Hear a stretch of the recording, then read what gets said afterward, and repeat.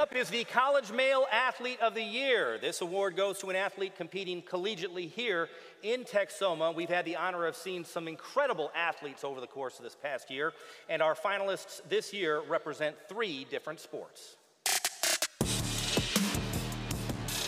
The nominees for College Male Athlete of the Year are Mary Escobar, Midwestern State, a junior, Escobar became the sixth player in MSU men's soccer program history to earn All America honors from both the United Soccer Coaches and the D2 CCA, the Conference Commissioners Association. Escobar scoring 11 goals and dishing out six assists in leading the Mustangs to a ninth straight NCAA postseason appearance.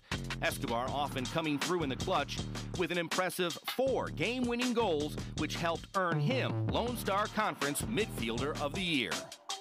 Garrett Leak, Midwestern State. For the third straight year, Leak earned all region honors. He led the Mustangs with a 71.5 stroke average and won his fifth career individual title by winning the Hot Dirt Desert Shootout in Scottsdale, Arizona, before placing second in the Lone Star Conference Championship.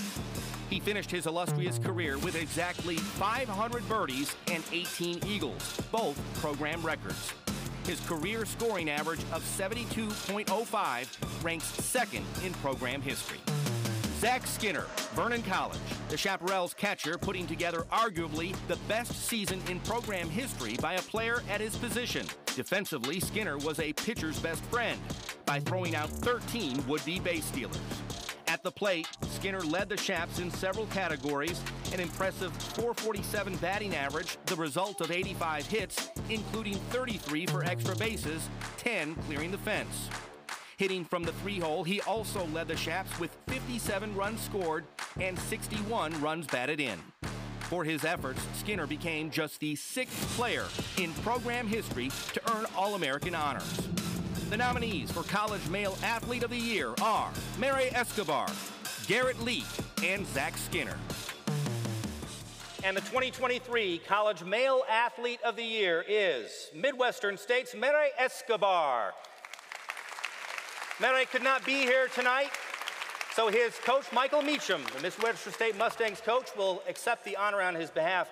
Uh, Mere is currently playing soccer right now in the state of Florida. So, Coach Meacham, you get to accept this honor on his behalf. Thank you. So, if you will make sure that he gets that, and just kind of share with me what he brings to your team. It's kind of like what a bunch of people have already said. He's like a team guy. He doesn't care if he's the one that scores or assists or whatever, as long as we win. He's just that, he's that guy. And what are you looking forward to him here in this next season? More goals. I, I, like mean, I that. think he, I think he's already in the top 12 in program history in goals. So so he's going to crack the top 10 and we're going we, we're going to give him top five. we're going to get him top five. There you have it. Thank you, Coach. Appreciate it.